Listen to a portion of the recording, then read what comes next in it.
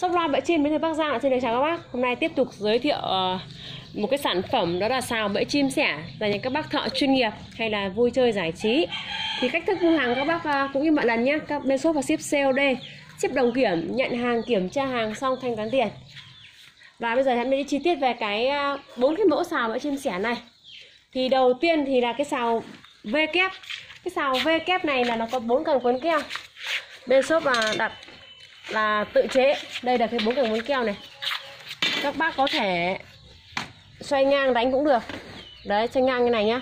Đánh hình chữ T cũng được, mà đánh không, các bác nào không thích mà đánh nặng thì các bác có thể xoay hẹp lại cũng được, không vấn đề gì. Đấy. Có thể xoay được nhé tại vì nó là dạng ốc vặn. Này ốc vặn đây. Cái độ dày của cái inox này là inox 304 cần cuốn keo và cái sào rút lên rút xuống là inox 204 và cái cần cuốn keo này là phi 8 các bác nhé 28 đây là cái sào V kép. Lên chỗ này là các bác là thấy nhìn thấy này thò ra này để các bác dành các bác là à, à móc những cái cột điện. Còn trên ống dưới ống này là có ba đoạn này. Có ba đoạn thì để rút ra là 42 và đã có một ống nhựa thiết kế bên bọc bên ngoài cùng để tránh tình trạng à, điện giật. Để các bác? À, và tiếp theo thì đây đó là cái mẫu V đơn vê đơn của nó là cũng như các bác thấy cái cần cuốn keo của nó là phim 12 nhé nhưng cũng là inox 304 đây là cái chỗ các bác có thể để con à, chim sẻ vào đây. Và đằng sau này thì nó, các bác có thể buộc cái loa.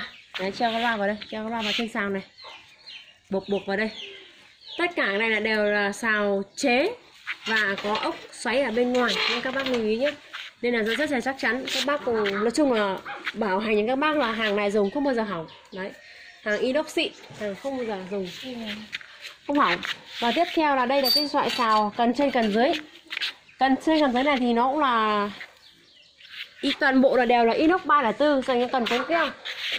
Và cái này là phi 8 này. Đây phi 8 và chỗ này các bác cũng thể buộc con chim giả vào đây, đây.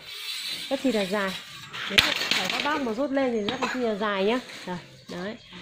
Các bác cứ rút lên 4 mét 2 cái cột điện mình những chiều dài của mình khi bóc lên ấy nhập sẽ là hơn 5 mét rồi 6 mét rồi. Rất là yên tâm. Và tiếp theo là một cái xào ờ, V đơn. Nhưng mà loại này là sẽ các bác ờ, dành cho các bác là chơi giải trí nhiều hơn. Cái loại này thì các bác có bên gọi là bên shop là chế cho các bác nhé. Để các bác chế cháo này. Đoạn cái xào rút lên rút xuống này ấy, là xào dạng xào rút không phải là dạng xoay ốc xào rút thế này. Đây là cái loại 3 mét sẽ có 3 khúc các bác nào mà muốn mua loại chơi cao hơn 6 mét hay 5 mét hay là 4 mét, thì bên shop cũng có luôn nhé. Các bác nào mà muốn dài 6 mét, tại các bác đi bẫy cao, thì các bác có thể mua loại sào 6 mét để chụp vào đây. Tại bên shop là bán cái chụp này chụp rời nhé. Chụp rời để các bác chơi. Đấy, đây là bốn cái mẫu xào bẫy chim sẻ, dành cho các bác ờ, thợ bẫy chim sẻ chuyên nghiệp hay là giải trí. Các bác mua cái mẫu nào thì cứ liên hệ trực tiếp và đặt hàng nhé.